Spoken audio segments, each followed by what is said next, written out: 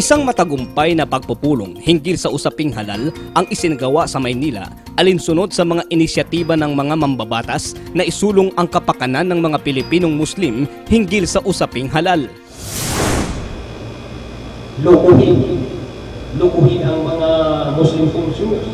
Lukuhin ang asa. Pero, akin ang sinabi ng Allah, la yuflihu, hindi sila magtatagumpay. Yan ang nangyayari sa atin.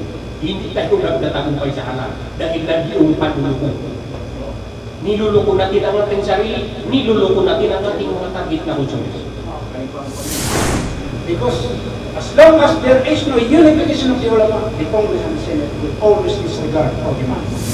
Ngayon, nagsisimula tayo, bumagal ang support natin, mga initiative natin, at program, ang activity, project natin, para sa kanila man, na yung mga yung mga nagsasamantala sa halal, na para gamitin lang tayo, gamitin lang Muslim, gamitin lang mga ulama natin, at least mayroon tayong manifesto na yung ayaw natin ito, gusto natin.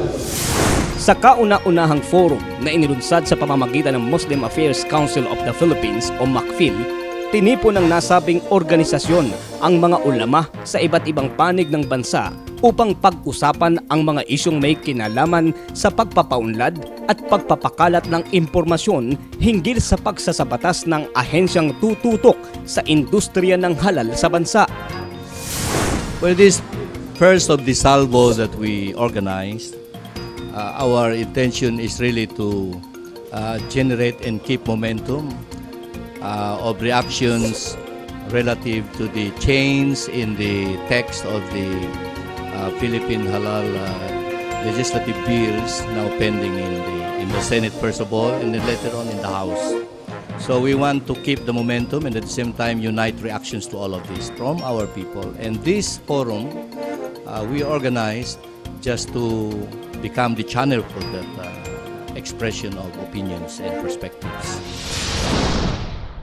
Layunin ng MACPHIL na makabuo ng isang manifesto na siyang magiging boses ng mga Pilipinong Muslim upang ipakita ang kanilang suporta sa tuluyan ng pagsasabatas ng isang regulatory board on halal industry. Sa pamamagitan nito, mas magiging globally competitive daw ang mga produkto ng Pilipinas kung isa sa alang-alang lamang umano ng gobyerno ang maayos na pagpapatupad at pagsunod sa mga alituntuning bumabaybay sa mga sensitibong usapin gaya ng halal na may malaking potensyal sa pandaigdigang merkado. Of course, first and foremost, I would like to thank the organizer, especially the committee, no, that uh, this first uh, forum on halal proposing in the uh, congressional initiative is very uh, fruitful, very successful. This is the benefit for the Muslim Ummah, the Muslim Filipino, so that uh, we can collect the, uh, the opinion, the suggestion, so that this law we can, we can be realized in the future, inshallah. Well, uh, Alhamdulillah, I'm very thankful for having this within this uh, area because uh, as the owner of the place, it is a, an indication that the people are all aware of the halal. And of course, the issue on uh, the Senate bills on halal ay napapanahon upang pag-usapan ng mga stakeholder ng halal industry, hindi lang po dito sa atin, sa kamusliman, kundi sa buong mundo ay nakikita natin ang uh, napaka-importanteng issue dapat talakayin ng bawat isa sa atin sapagkat napahalaga po ang uh, pagkakaroon ng tunay na halal sa ating bansa lalong-lalo na kung ito sa pangalan ng Muslim community. Ang pagkakaisa ng mga Muslim, partikular na ang mga eskolar o ulama, ay isang hakbang upang tuluyan ng mabura ang maling pananaw ng ilang sektor sa industriya at bigyang daan ang pagtutulungan sa pagitan ng usaping teknikal at pangrelihiyon.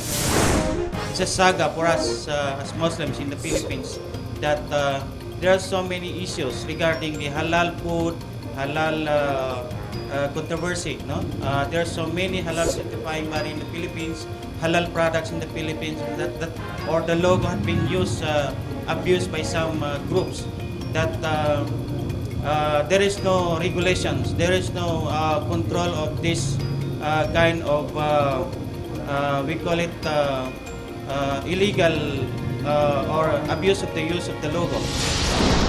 Sa ganitong paraan, mareresolba umano ang masamang imahe ng mga produktong halal mula sa bansa upang tuluyan ng tangkilikin hindi lamang ng mga Pilipino kundi ng buong mundo na sa hinaharap ay may malaking maiaambag sa pag-unlad ng ekonomiya ng Pilipinas. Of course, uh, halal is a very comprehensive uh, endeavor because here you do not only deal with uh, food, but you also deal with non-food. And that makes almost everything in the lives of Muslims uh, governed by the halal regulations and principles. And uh, the energy that brings us together, in my opinion, is the common and collective responsibility and Islamic duty to promote uh, Islamic halal in the country today. And we hope that we can help the government come up with a truly reflective halal system that will respect the Islamic principles and at the same time uh, the constitutional uh, principles. Abdul Malik Angelo Carpio, ITV News.